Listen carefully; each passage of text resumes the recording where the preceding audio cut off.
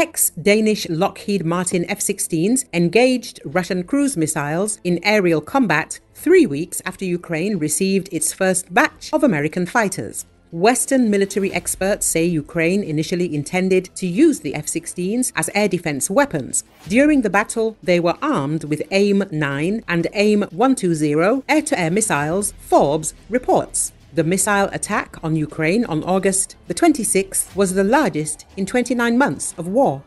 The enemy attacked with both missiles and kamikaze drones. On August the 26th, 102 missiles and 99 drones were destroyed. Experts write that Kiev is arming its fighters with AIM 9 and AIM 120 missiles from the 1980s. However, there is a big plus in the fact that there are many of them in the arsenal of Ukraine's allies. Experts are confident that by the end of the year, Kiev will use F 16s only as air defense to shoot down missiles. However, as soon as their fleet increases significantly, strikes will be carried out against enemy air defense systems and aircraft of the Russian Aerospace Forces. To protect the F 16s from Russian missiles, Ukraine retained the fighter's recently installed Pylon integrated dispensing system and electronic combat pylon systems. PIDS and ECIPS, respectively.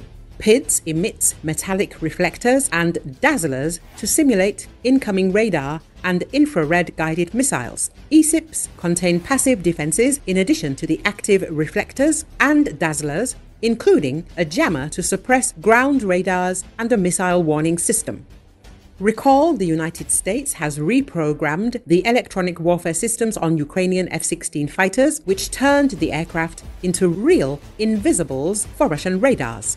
This was reported by the Western portal The War Zone, citing its own sources. According to incoming information, before being sent to Ukraine, the aircraft underwent a deep modernization within the framework of which engineers of the 68th Squadron of the US Armed Forces updated the machines intended for the Ukrainian Air Force. American specialists are the bearers of advanced experience in electronic warfare and are constantly engaged in increasing the survivability of US Air Force aircraft. Together with engineers from Europe, the Americans reprogrammed the electronic warfare systems on F 16 fighters from Denmark and the Netherlands. Journalists found out that the engineers did a lot of complex work to make the fighters more protected from threats from Russia. Work on the aircraft systems proved challenging due to tight deadlines and the need to modify a system not in US service.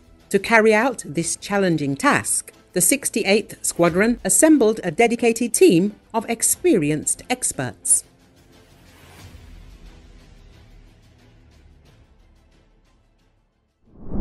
The Russian military started using World War II era M30 howitzers in the war against Ukraine one of the Russian military published a video of the damaged howitzer. According to military media outlet, the howitzer in the video is the 122mm M30 developed in the 1930s and actively used by the Soviet army in the war against Nazi Germany. According to the author, the howitzer captured in the video was damaged as a result of an attack on their positions by Ukrainian FPV drones in the amount of about 15 units.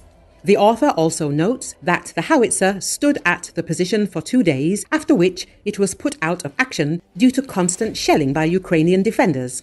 The M30 howitzer has a 22.7 caliber barrel, which allows it to fire at a range of up to 12 kilometers. It is capable of firing a wide range of 122 millimeter shells, which allows it to be unified with other 122 millimeter artillery systems. It should be noted that over the past year, the Russian military has started to actively restore artillery systems from the 1930s and 1960s due to an acute shortage of artillery systems. In addition, the enemy is currently repairing its own artillery systems using naval guns that are currently being decommissioned. Militarnyi previously reported that the Russians have started using a hybrid of a naval gun and a carriage from an M46 towed artillery gun. There is a high probability that these hybrid guns are manufactured by Russian enterprises to provide the troops with a required quantity of artillery systems. Since the AK 130 naval guns have been manufactured since the early 1980s, the Russian Navy has a lot of them in their warehouses. Since the AK-130 is not installed on new ships, it is possible for decommissioned guns to be used in land-based systems. Эй, кот, ты живой у нас? А, кот. Кс -кс -кс -кс. А,